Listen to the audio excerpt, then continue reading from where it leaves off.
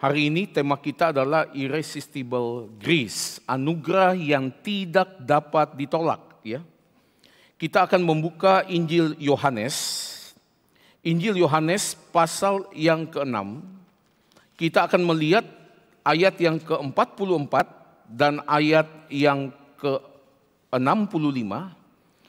Yang kedua kita akan melihat Yohanes pasal 3 ayat 3 sampai dengan ayat yang ke-8. Yang ketiga 1 Timotius pasal 1 ayat 12 sampai dengan ayat yang ke-16. Saya akan membaca Yohanes pasal yang ke-6, ayatnya yang ke-44 dan ayat yang ke-65. Demikian firman Tuhan. Ayat 44 dari Yohanes 6, tidak ada seorang pun yang dapat datang kepadaku jikalau ia tidak ditarik oleh Bapa yang mengutus aku dan ia akan kubangkitkan pada akhir zaman. Ayat 65. Lalu ia berkata, sebab itu telah kukatakan kepadamu, tidak ada seorang pun dapat datang kepadaku kalau Bapa tidak mengaruniakannya kepadanya.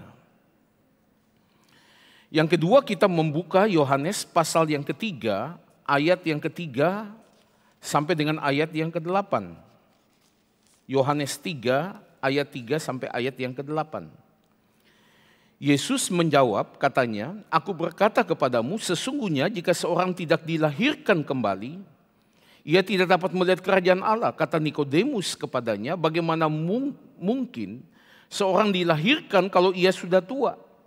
Dapatkah ia masuk kembali ke dalam rahim ibunya dan dilahirkan lagi?" Jawab Yesus, "Aku berkata kepadamu, sesungguhnya jika seorang tidak dilahirkan dari air dan roh, ia tidak dapat masuk ke dalam kerajaan Allah.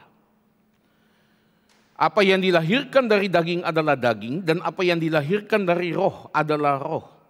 Janganlah engkau heran, karena aku berkata kepadamu, kamu harus dilahirkan kembali.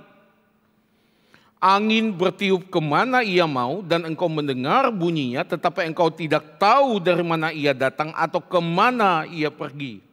Demikianlah halnya dengan orang yang lahir dari roh. Yang ketiga yang terakhir jemaat yang dikasih Tuhan kita membuka 1 Timotius pasal yang pertama ayat 12 sampai dengan ayat yang ke-16. 1 Timotius pasal 1 ayat 12. Aku bersyukur kepada dia yang menguatkan aku yaitu Kristus Yesus Tuhan kita karena ia menganggap aku setia dan mempercayakan pelayanan ini kepadaku. Aku yang tadinya seorang penghujat dan seorang penganiaya dan seorang ganas tetapi aku telah dikasihaninya. Karena semuanya itu telah kulakukan tanpa pengetahuan yaitu di luar iman. Malah kasih karunia Tuhan kita itu telah dikaruniakan dengan limpahnya kepadaku dengan iman dan kasih dalam Kristus Yesus.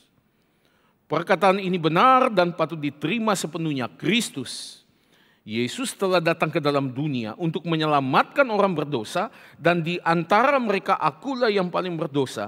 Tetapi justru karena itu aku dikasihani agar dalam diriku ini sebagai seorang yang paling berdosa, Yesus Kristus menunjukkan seluruh kesabarannya. Dengan demikian aku menjadi contoh bagi mereka yang kemudian percaya kepadanya dan mendapat hidup yang kekal. Demikian jemaat yang dikasih Tuhan, mari sekali lagi kita menghadap Tuhan di dalam doa sebelum kita mendengarkan kebenaran Tuhan. Mari kita masuk di dalam doa. Kami datang di hadapan Tuhan pada siang ini. Kami minta belas kasihan. Kehadiran Tuhan di tengah-tengah kami, umat pilihanmu kami bersyukur untuk kesempatan kami mendengarkan kebenaran Tuhan. Dan hari ini tentang irresistible grace, anugerah yang tidak dapat ditolak. Kami menyerahkan hambamu yang hina ini ke dalam tangan Tuhan. Layakan dia, urapi dia dengan kuasamu.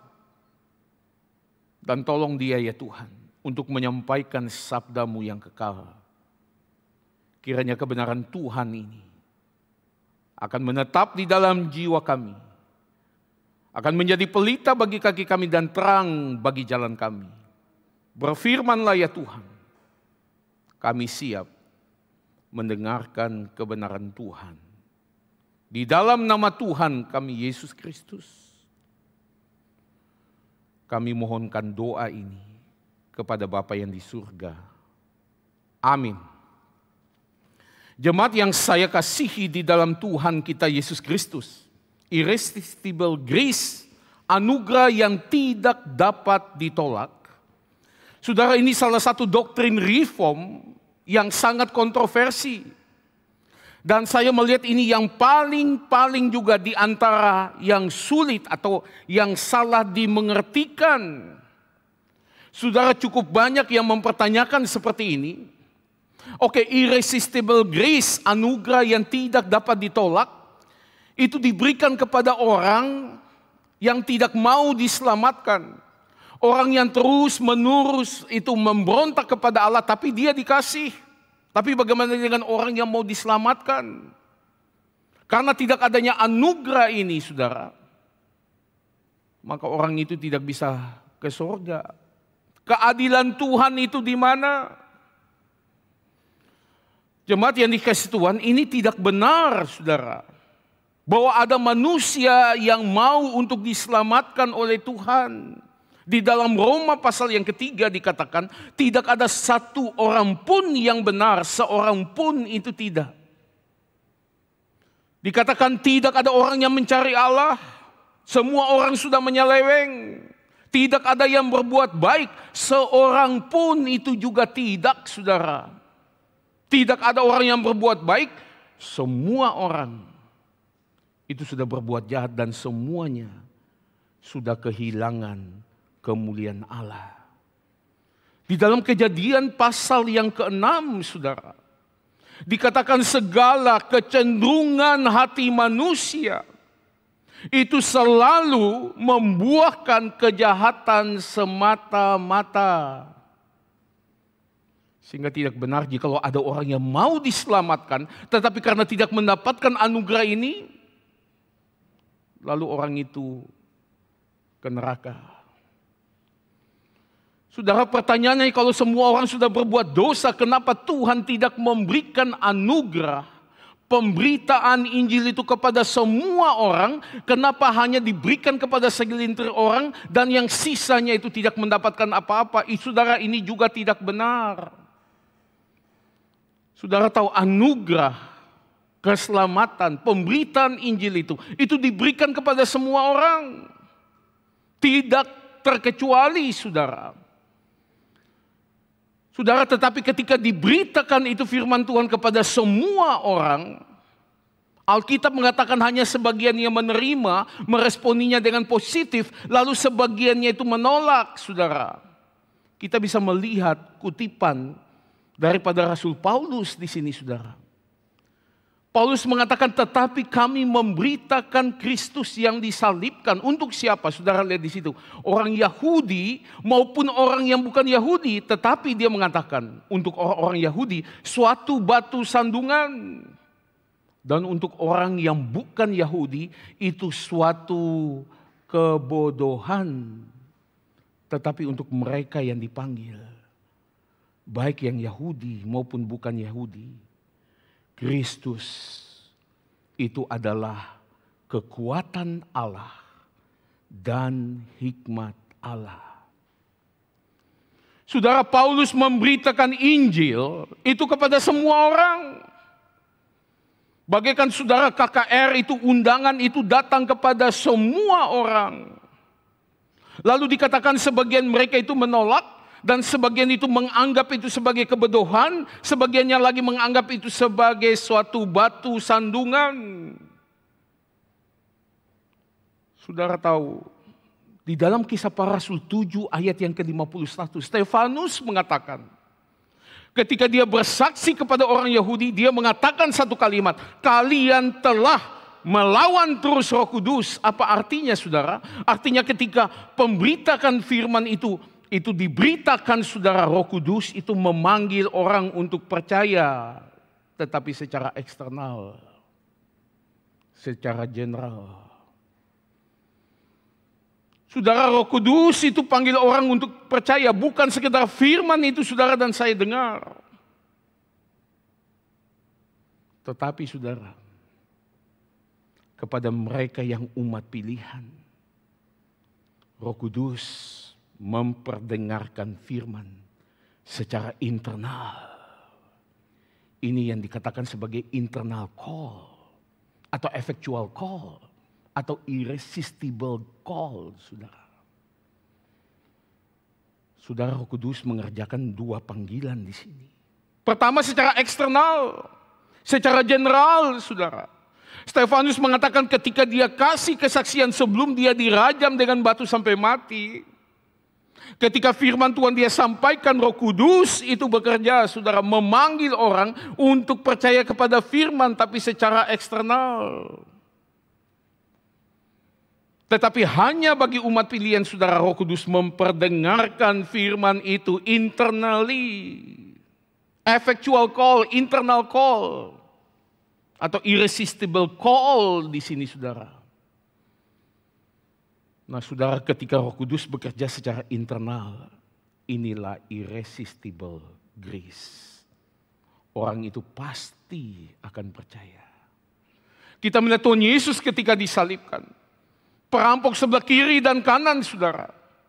Sama-sama ketika itu butuh pengampunan Tuhan, sama-sama mendengarkan kalimat Tuhan Yesus. Ya Bapa, ampunilah mereka karena mereka tidak tahu apa yang mereka perbuat. Roh Kudus memanggil mereka berdua untuk bertobat secara eksternal. Ini general call.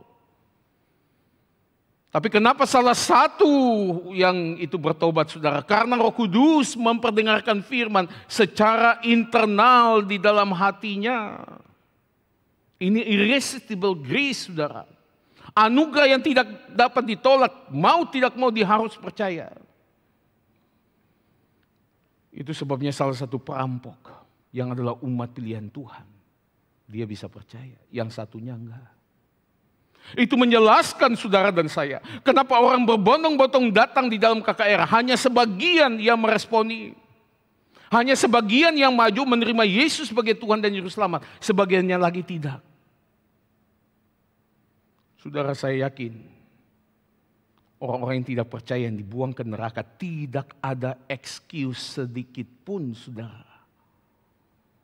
Untuk mengatakan mempertanyakan keadilan Allah di sini.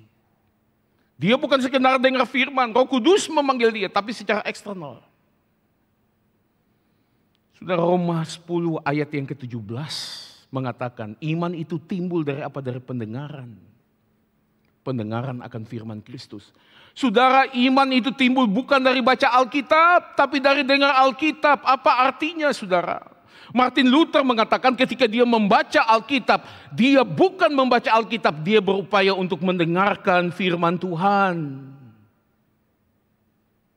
Saudara kita membaca buku biasa, kita ini subjek, ini objek kita mau impose, kita punya pemikiran, ah ini dongeng, ah ini apa. Kita yang menghakimi, tapi kalau saudara dan saya baca Alkitab kembali, Alkitab ini subjek, kita itu objek. Alkitab lagi baca hidup kita, lalu Tuhan bicara kepada saudara dan saya. Martin Luther mengatakan ketika saya membaca Alkitab, saya bukan membaca Alkitab, tapi saya sedang mendengarkan firman Tuhan.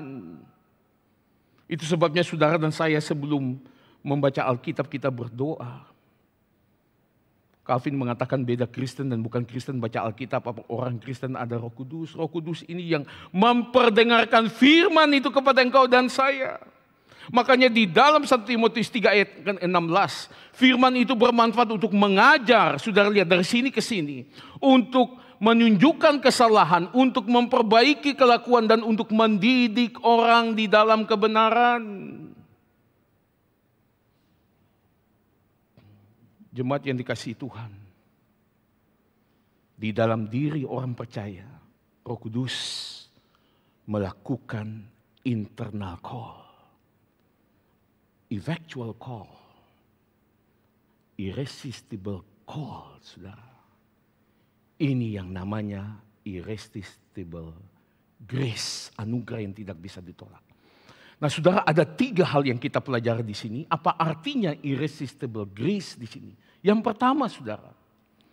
Kita lihat bahwa anugerah yang tidak dapat ditolak ini saudara merujuk kepada Yohanes 6 ayat 44 bacaan kita tadi.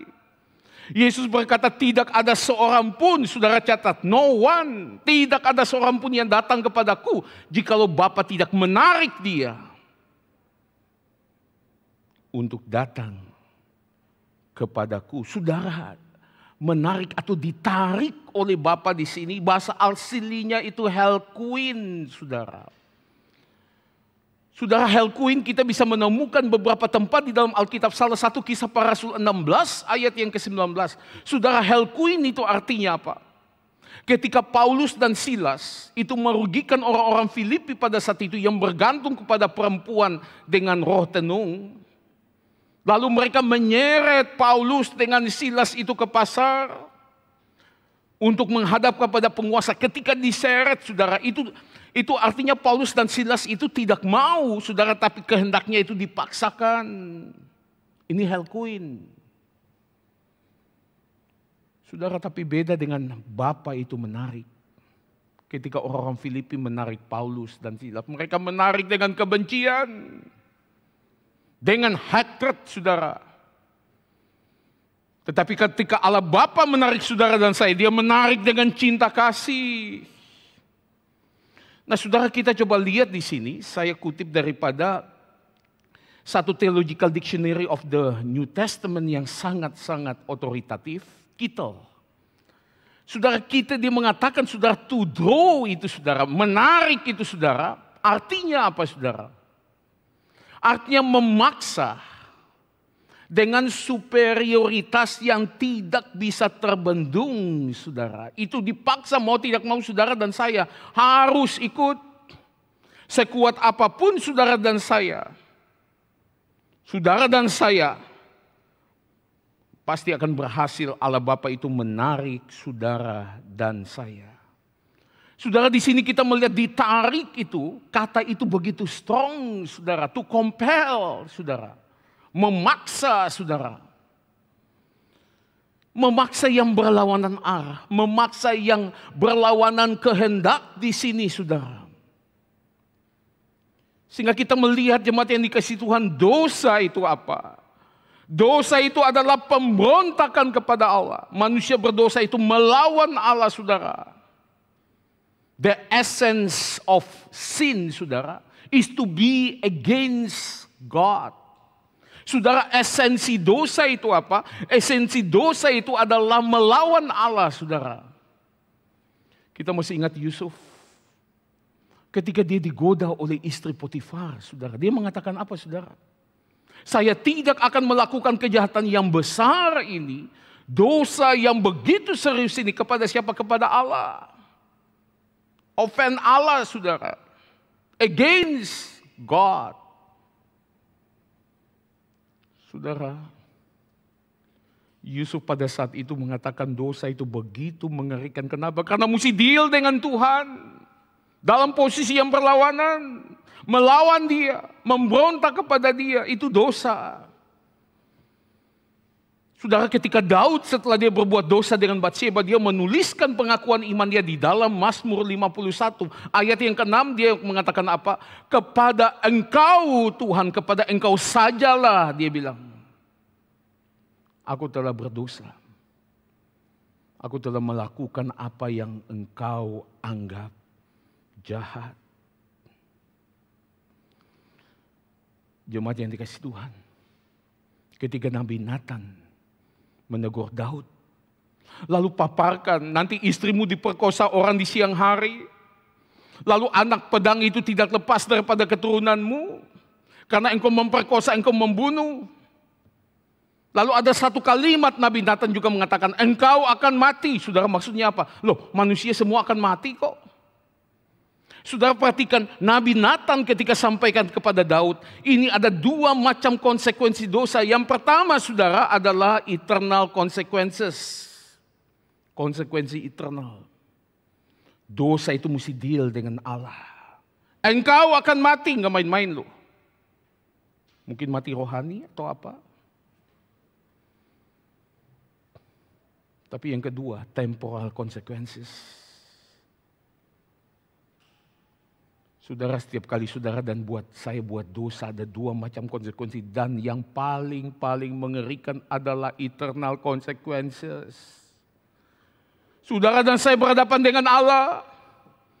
Kalau satu orang laki-laki yang sudah punya keluarga, dia main gila saudara. Dia mungkin takut istrinya ceraikan dia, itu semua temporal consequences. Anaknya tidak lagi hormati dia, semua temporal consequences termasuk penyakit kelamin dan sebagainya, tetapi ada satu konsekuensi yang begitu-begitu serius. Eternal consequences. Dosa itu melawan Allah.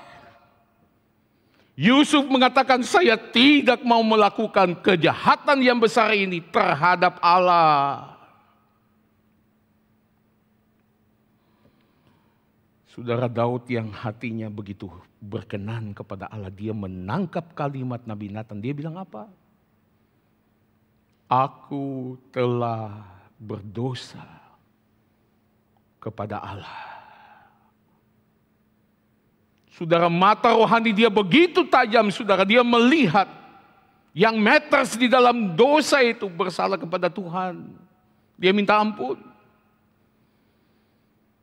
Dan saudara kalau kita melihat Raja Daud ketika dia melakukan dosa itu, saudara dosa itu tidak bisa berhenti di situ. Ketika dia main gila, berselingkuh itu dengan Bathsheba yang sudah punya suami. Saudara saat itu langsung hamil, saudara Bathsheba. Di situ Tuhan sebetulnya mengatakan, Daud sampai di sini dosamu, public confession, akui dosamu.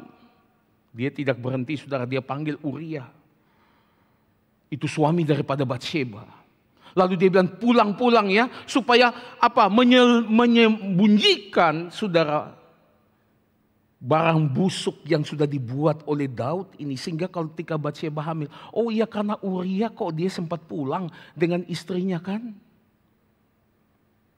Saudara Uria tidak mau pulang, Daud pikirin lagi, tambah lagi satu saudara. Kalau begitu, taruh dia di medan peperangan yang paling depan, dia tulis surat untuk Yoab dan dibawa oleh Uria. Saudara kemudian Uria mati. Dia menangisi. Ini Uria salah satu dari 30 orang yang mengawal itu Daud. Ini pas pampres saudara. Kalau pas pampres itu mati ada istrinya sudah hamil. Daud bilang aduh sudahlah istri yang hamil. Saya berkorban saya ambil menjadi istri saya. Padahal itu benihnya dia.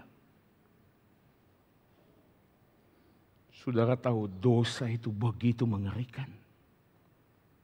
Dan jangan lupa Daud ini adalah orang percaya. Saudara Nabi Nathan itu menegur Daud kapan? Setelah satu tahun. Setelah anak itu lahir, saudara. Sebelum anak itu lahir pun Daud, setelah lahir pun Daud juga tidak sadar, tidak koreksi, tidak minta ampun kepada Tuhan. Setelah satu tahun, saudara. Baru dia, Nabi Nathan menegur dia, lalu dia minta ampun.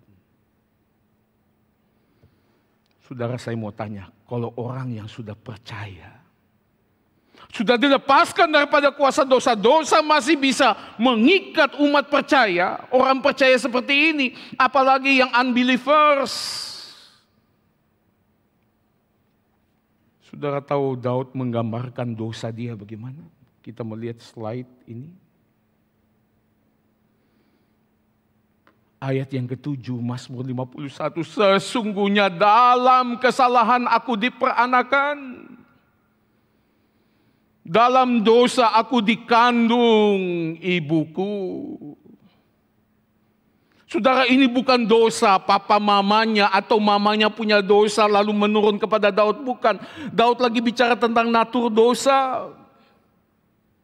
Itu betul saudara dan saya yang sudah di dalam Kristus. Daud yang sudah orang percaya sudah dilepaskan daripada kuasa dosa. Tapi sekali lagi, selama saudara dan saya ada di dalam dunia ini, kita masih terus deal dengan natur dosa to some extent, saudara. Saudara kalau sudah natur dosa seperti itu, Daud lalu bagaimana untuk membersihkan hati dia benar-benar bersih. Saudara lihat dia butuh anugerah Allah yang begitu besar. Ayat 12. Jadikanlah hatiku tahir ya Allah dan perbaharuilah batinku dengan roh yang teguh. Saudara perhatikan di sini kata jadikanlah. Daud pakai kata create in me a clean heart. Hati yang suci. Saudara kata create di sini saudara dan saya kaget bahasa aslinya itu bara. Bara itu dari tidak ada menjadi ada. Saya percaya saudara bahwa ini bukan dalam arti itu karena Daud itu sudah umat Tuhan. Tetapi kenapa dia bicara create ini? Dia pakai bara di sini. Dia mau mengatakan hati dia begitu kotor seolah-olah itu mesti dijadikan baru. Bayangin dosa yang sudah dia lakukan, saudara. Lalu satu tahun itu tidak sadar, tidak minta ampun. Saudara sekali lagi saya mau katakan kepada saudara, kalau orang percaya saja kondisi seperti ini, saudara, bagaimana dengan unbelievers? Bagaimana dengan yang non-Kristen? Begitu-begitu butuh anugerah Tuhan. Saudara, untuk bisa diselamatkan. Saudara dan saya sungguh butuh mutlak anugerah Tuhan. Yang pertama irresistible grace itu apa saudara? Adalah a necessity of grace. Satu anugerah yang mutlak saudara. Kenapa Allah mesti tarik tanpa anugerah Tuhan saudara dan saya ke semuanya ke neraka? Irresistible grace saudara. Pertama-tama adalah a necessity of grace. Atau a grace necessity. Kita melihat ketika Saulus, Tuhan mempertobatkan dia, saudara tahu. Dia di pintu Damsyik. Itu sekitar 150 mile daripada daerah kekuasaan Romawi. Apa maksudnya saudara? Itu artinya kalau Saulus ini dia berbuat sesuatu, itu nggak ada yang bisa tolong dia karena dia warga negara Romawi. Kalau dia bikin semua kejahatan apa pun, saudara di dalam kerajaan Romawi dia akan aman dalam tanda kutip. Saudara kisah para rasul pasal 9 mengatakan apa? Saudara Saulus, dia pergi dengan membara hati dia. Dan dia mengancam dan membunuh murid-murid Tuhan. Saudara 150 miles mengejar orang Kristen. Untuk dianiaya. Untuk dibunuh saudara. Di situ Tuhan selamatkan dia. Saudara Tuhan Allah Bapa mesti tarik. Ini lagi mau bunuh umat Tuhan. Yesus menampakkan diri. Saulus, Saulus, mengapa engkau menganiaya aku?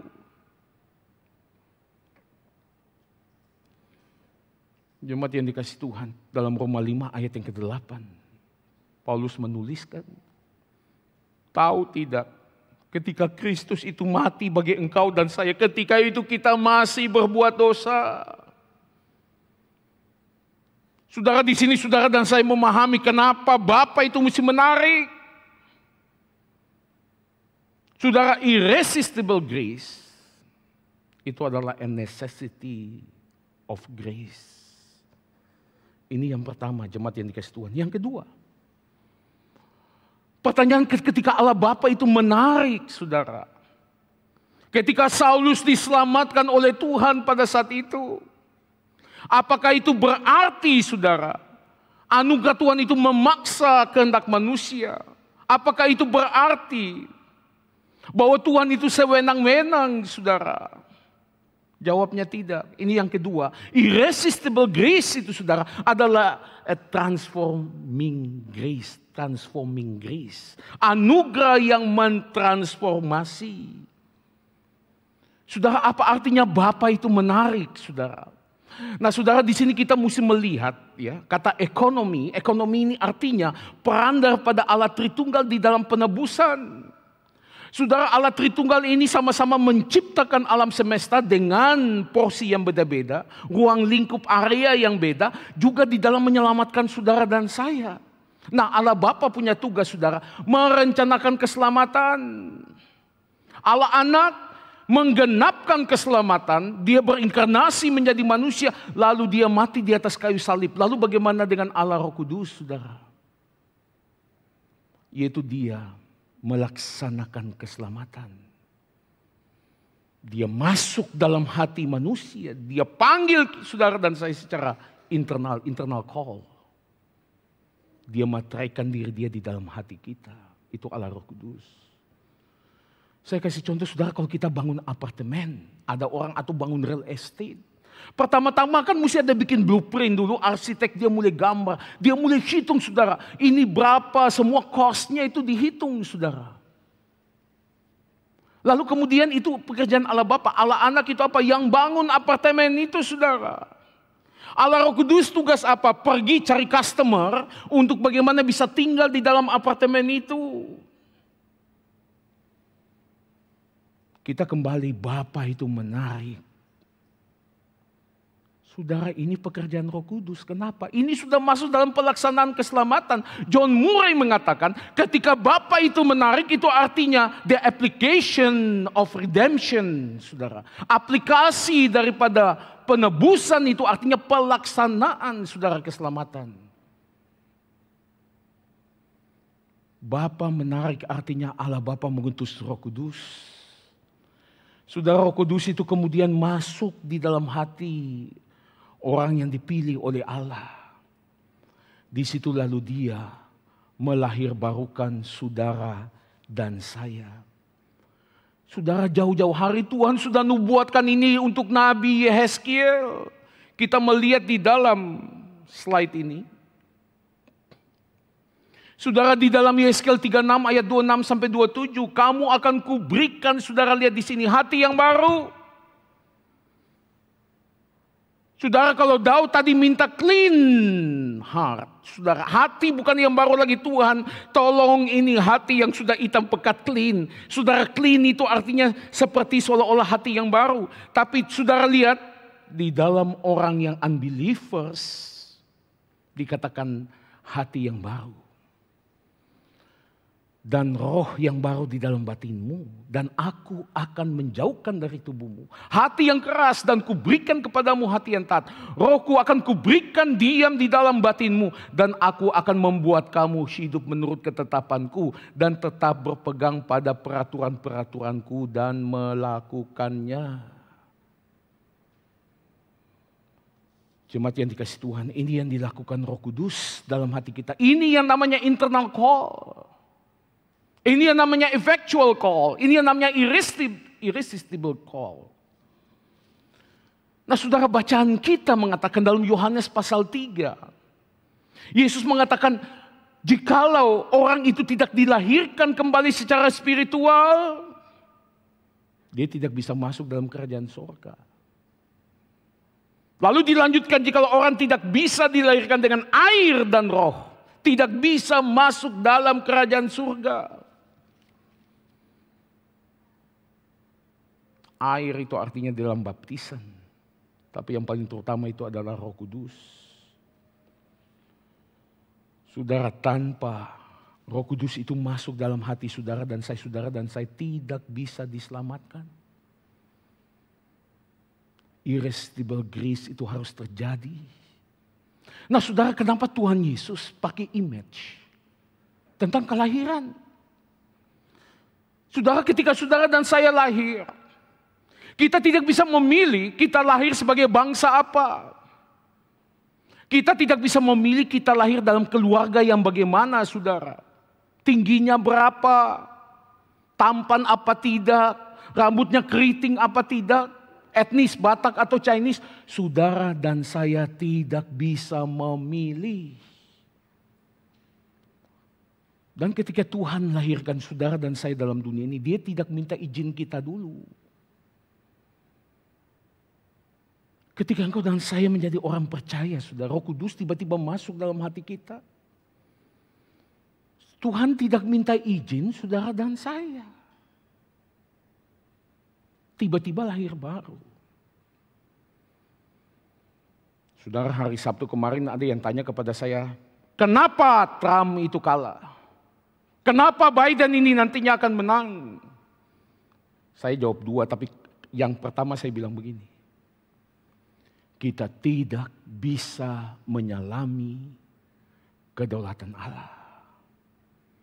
Di situ di dalam bacaan kita saudara, Yohanes pasal 3 tadi, Tuhan Yesus berkata apa saudara? Angin itu bertiup ke mana ia mau. Dan engkau mendengar bunyinya tetapi engkau tidak tahu dari mana ia datang atau ke mana ia pergi.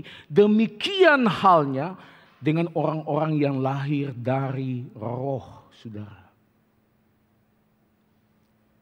Tiba-tiba saudara-saudara dan saya sudah menjadi orang percaya. Jemaat yang dikasih Tuhan.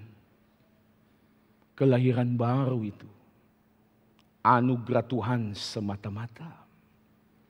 Itu sebenarnya Yohanes 6 ayat 65 mengatakan, Yesus mengatakan tidak ada yang datang kepadaku jikalau Bapa tidak mengaruniakannya kepadaku. Saudara Allah Bapa mengaruniakannya. Saudara saya kemudian kutip di sini saudara. Dari Reformation Study Bible saudara. Dia bilang regeneration itu apa? Saudara kelahiran baru dia mengatakan itu tindakan Allah. Alone, sendiri saudara. Di mana dia renew itu hati manusia. Lalu saudara apa arti renew di sini dikatakan making it alive. Membuat ia hidup. Ketika ia sebelumnya itu mati. Di dalam kelahiran baru. Saudara Allah itu bertindak pada hal yang paling-paling basic daripada manusia. John Frey mengatakan basic commitment of the heart. Herman Doiwer mengatakan ground motive. Saudara hal yang paling-paling basic di situ. Kemudian kelahiran baru itu mengubah saudara disposisi kita, kecenderungan daripada jiwa kita untuk hati kita itu saudara menuju kepada Tuhan. Buah daripada kelahiran baru itu adalah iman. Kelahiran baru itu mendahului iman. Jemaat yang dikasih Tuhan. Sekali lagi, kelahiran baru itu semata-mata anugerah Tuhan. Dan di sini saudara, orang yang lahir baru, orang itu dengan rela karena sudah dirubah hati dia 2 Korintus 5 ayat 17 Paulus mengatakan di dalam Kristus kamu dahulu sudah mati. Kamu kamu bukan lagi kamu sekarang ini adalah ciptaan baru yang lama telah berlalu sesungguhnya yang baru itu sudah datang. Saudara sehingga menimbulkan yang tadinya memberontak kepada Allah sekarang begitu mengasihi Tuhan yang dulunya begitu jauh dengan Tuhan sekarang begitu dekat kepada Tuhan saudara. Saudara ini kelahiran baru ada kerelaan untuk datang kepada Tuhan. Ada iman yang membawa saudara dan saya kepada Tuhan. Itu irresistible grace saudara, bukan pemaksaan kehendak manusia, bukan sewenang-wenangnya Tuhan, tetapi adalah transforming grace, anugerah yang mentransformasi saudara dan saya. Saya ada punya family, jemaat yang dikasih Tuhan. Dia begitu jahat, pernah bunuh orang, pernah nabar orang mati, masuk lagi penjara, saudara berbagai macam itu itu seks dan segala macam minum-minum, berkelahi dan segala macam, saudara. Satu kali saya menginjili dia. Dan dia, dia, bilang, dia mengatakan saya, saya nggak mau jadi Kristen. Saya bilang kenapa? Kalau saya jadi Kristen, saya tidak bisa lagi melakukan yang saya inginkan. Saya bilang kepada dia, siapa bilang dia kaget, dia bilang, loh apa Kristen setuju dengan main pelacur? Apa Kristen setuju dengan minum-minum? Setuju dengan main judi? Setuju dengan berkelahi dan sebagainya? Saya bilang gak setuju. Tapi ketika engkau menjadi orang Kristen, ada kecenderungan di situ hatimu menjadi hati yang baru. Engkau akan menjadi manusia baru. Lakukanlah apa yang kau mau. Jemaat yang dikasih Tuhan. Kita melihat satu kutipan ayat ini. Yohanes 6 ayat 37. Semua yang diberikan Bapa kepadaku, kata Tuhan Yesus. Saudara perhatikan akan datang kepadaku. Dan barang siapa datang kepadaku, ia tidak akan kubuang. Saudara lihat di sini akan datang kepada Tuhan Yesus. Saudara ini bukan pemaksaan. Ini ada kerelaan, ini adalah iman, saudara, akan datang kepada Yesus. Datang dengan kerelaan, saudara. Datang dengan iman. Jemaat yang dikasih Tuhan, irresistible grace. Itu bukan paksaan. Itu bukan alas sewenang-wenang. Tetapi itu adalah transforming grace. Saya berapa kali kasih contoh saudara, orang itu di lumpur dosa. Semua di lumpur dosa, jangankan tolong orang lain, tolong diri juga nggak bisa. Makin dia mau naik, makin dia tenggelam. Lalu Tuhan Yesus yang di luar lumpur dosa, lalu saudara jangan bayangin, Tuhan Yesus datang, kita masih senang-senang di lumpur dosa, Tuhan Yesus paksa, pokoknya tarik. Kalau bisa pakai itu katro, apa segala derek, pokoknya tarik saudara dan saya dengan paksa. Bukan itu saudara. Lalu ada yang mengatakan, keselamatan kita pasti ada andil manusia. Karena Tuhan Yesus ketika mengulurkan tangan saudara dan saya mesti menggapai, bukan? Kalau kita nggak menggapai, kita nggak bisa naik ke atas. Jadi keselamatan itu apa? Ada kerjasama antara Allah dengan manusia. Sesedikit-sedikitnya itu andil manusia pasti ada. Alkitab bilang enggak. Kenapa? Ketika manusia di lumpur dosa, dia begitu enjoy. Saudara bilang, kamu di bawah kuasa dosa, kamu akan mati. Dia bilang, gila kamu, saya lagi menikmati kok. Saudara tanya pada orang di luar, bahwa mereka itu hidup dalam kuasa dosa. Gila ini orang Kristen. Yesus datang aja dibunuh oleh orang Yahudi. Lalu apa yang terjadi saudara? Pertama-tama roh kudus masuk dalam hati orang ini mencelikan mata rohani dia, hati yang baru. Tuhan Yesus masih jauh di sana, dia sudah berteriak, tolong Tuhan Yesus. Dia mulai panik, dia mulai begini-begini, tolong saya mati, tolong Tuhan. Karena roh kudus sudah masuk dulu saudara. Ini yang namanya regeneration. Kelahiran baru. Lalu Tuhan Yesus ketika datang, tangan baru begini aja, dia sudah gini-gini saudara. Dia terus mau ambil itu, mau itu rangkul tangan Tuhan Yesus. Itu yang terjadi jemaat yang dikasih Tuhan. Ini yang kedua, irresistible grace adalah transforming grace. Yang ketiga, saudara, yang terakhir. Saudara, irresistible grace itu apa? Adalah a necessity of grace. Yang kedua, resistible grace itu adalah transforming grace. Yang ketiga, saudara, irresistible grace itu adalah abundant grace, anugerah yang begitu melimpah, saudara.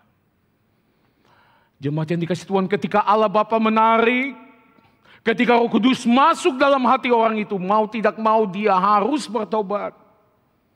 Dia tidak bisa melawan itu saudara. Ingat saudara, kelahiran baru itu mirip dengan kelahiran secara fisik. Saudara John Calvin mengatakan kehendak Allah itu yang paling besar. Tidak ada satu orang pun yang bisa melawan menentang kehendak Allah. Tidak ada satu orang pun. Jemaat yang dikasih Tuhan. Di dalam bacaan kita satu Timotius tadi. Paulus dia mengatakan saudara dia dulu seorang penghujat. Dia bukan hanya menghujat Tuhan saudara. Kita lihat di dalam kisah para rasul 26 ayat yang ke-11. Dia paksa orang Kristen itu untuk menghujat Allah dia. Untuk menghujat Allah, Yesus. Saudara dikatakan dia seorang penganiaya di situ. Yesus mengatakan, Saulus, Saulus, mengapa engkau menganiaya aku? Dia seorang yang ganas. Saudara tahu dia paksa dengan siksaan. Dia paksa dengan kekerasan, saudara. Sudah berapa orang Kristen yang dia seret. Jemaat yang dikasih Tuhan. Tapi dia mengatakan dengan anugerah Tuhan. Apa yang terjadi? Tuhan menjadikan dia menjadi setia. Lalu dikatakan Tuhan malah mempercayakan pelayanan itu kepada dia. Dalam Roma pasal yang ke-6 dikatakan dahulu kamu itu hamba dosa. Kamu dahulu itu lakukan berbagai kecemaran dan kedurhakaan. Tapi sekarang setelah kamu dimerdekakan dari dosa, kamu adalah hamba kebenaran. Saudara, irresistible grace adalah abundant grace. Kita melihat kutipan ini, saudara. Roma 5 ayat 15-17, Paulus lagi bandingkan Adam dengan Kristus. Lalu dia katakan apa saudara? Karunia Allah itu tidak sama dengan pelanggaran Adam. Saudara lihat, sebab jika karena pelanggaran satu orang, semua orang telah jatuh dalam kuasa maut. Jauh lebih besar lagi kasih karunia Allah yang dilimpahkannya atas semua orang. Karena satu orang yaitu Yesus Kristus. Dan kasih karunia tidak berimbangan dengan dosa satu orang. Sebab jika oleh dosa satu orang maut telah berkuasa oleh satu orang itu. Maka lebih benar lagi mereka yang telah menerima kelimpahan kasih karunia dan anugerah kebenaran akan hidup dan berkuasa oleh karena satu orang itu yaitu Yesus Kristus. Saudara perhatikan lebih besar tidak berimbang lebih benar lagi.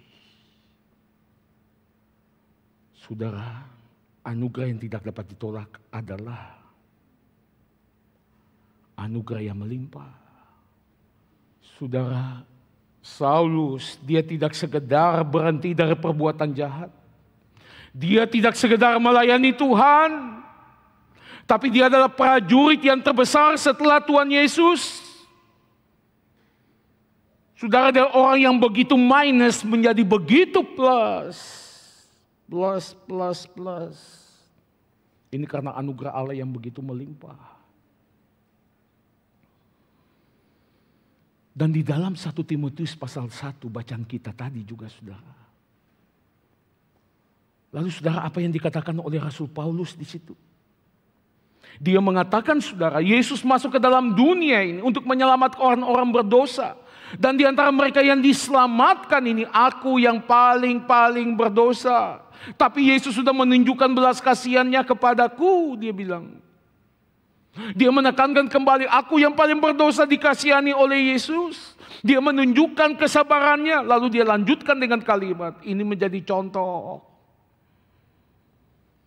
Bagi mereka yang kemudian percaya kepadanya dan memperoleh hidup yang kekal. Maksudnya apa? Paulus mengatakan tidak ada satu manusia pun yang sebegitu berdosanya dia.